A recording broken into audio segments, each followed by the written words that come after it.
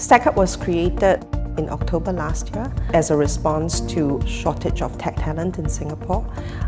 But when we tried to understand what the shortage is, uh, we found that it's actually about the right skills, the right talent. So we're essentially stacking up a novice all the way to a technologist. And there are many technologist roles, and therefore the career opportunities is actually uh, huge. The unexpected things for me is um, that we would get in touch with industry practitioners, people who have done startups before, uh, CTOs. Um, I think their insights and experience is really invaluable to, to, to, to us because um, it's not just about the technical skills that they're imparting, but also how do you use them and what kind of considerations do you have to take into account when you build certain uh, aspects of your business. So that really comes in handy when, when you want to um, really put into practice what, what you've learned.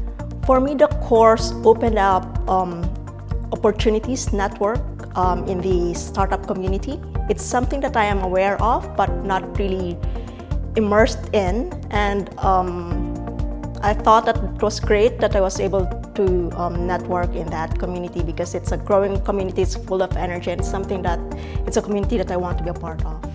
Well, FSF is, uh, was an interesting um, uh, proposal that, that came across at a time when I was searching for uh, uh to broaden my knowledge in, uh, in web technologies, right?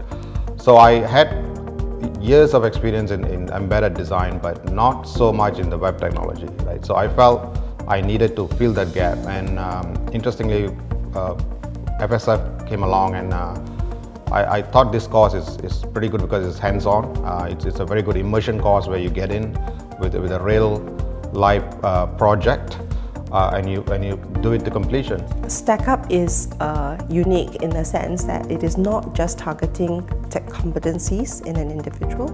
Um, it also tackles uh, essentially the culture. It's exciting to me to see the students being able to realize that the power of learning to learn can get them much further the ability to express and create and see their own idea evolve into a product that they can be proud of is also very exciting.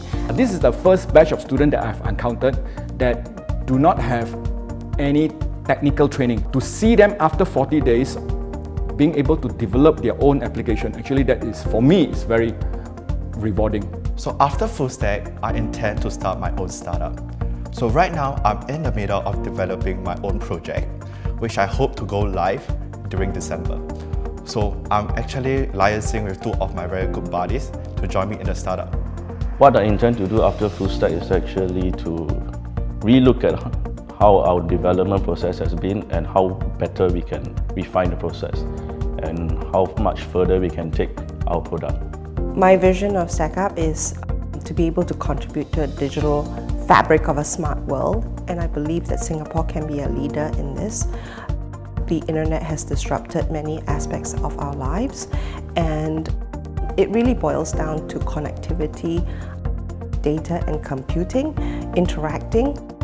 All these elements give us a position for ways to innovate in a future that we may not even know of today. So it, there are many possibilities for us with the Stack Up program, how we can evolve.